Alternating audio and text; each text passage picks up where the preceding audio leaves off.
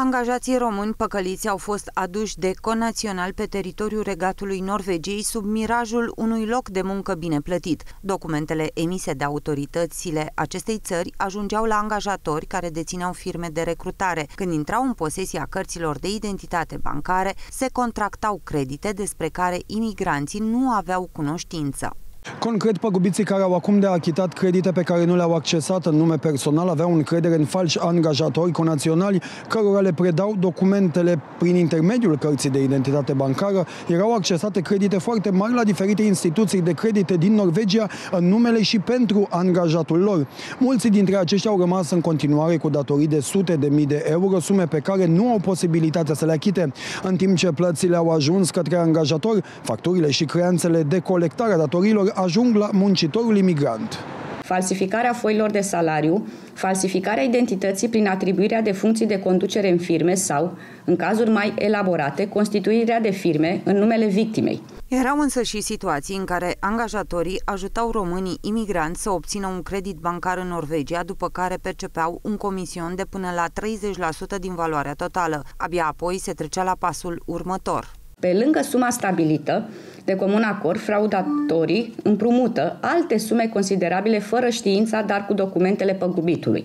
Agenția pentru Ocuparea Forței de Muncă Prahova explică faptul că aceste practici se petrec pentru că românii aflați în căutarea unui loc de muncă nu solicită sprijin prin intermediul instituțiilor de profil. Oamenii sunt atrași în tot felul de... și pe bani. Se prezintă ca și avocați, ca și Uh, și întrebăm cine ți-a spus că trebuie formularul acesta? Păi avocatul. Bun, atunci te rog să-i spui acestui avocat că te-a informat și că acel formular nu mai este valabil.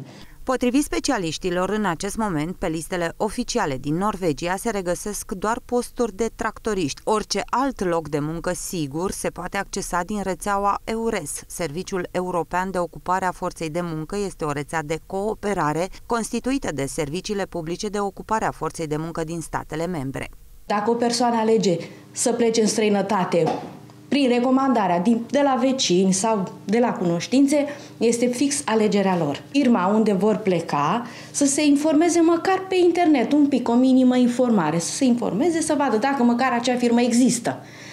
În general, când ajung acolo, ei trebuie să semneze un contract, un contract care trebuie să fie neapărat, dacă nu în limba respectivei țări, în limba engleză. Inspectoratele teritoriale de muncă au trimis informări către toate prefecturile din țară despre aceste practici, iar autoritățile vor trebui să le afișeze la vedere. Păgubiții români vor merge acum în instanță pentru a-și face dreptate.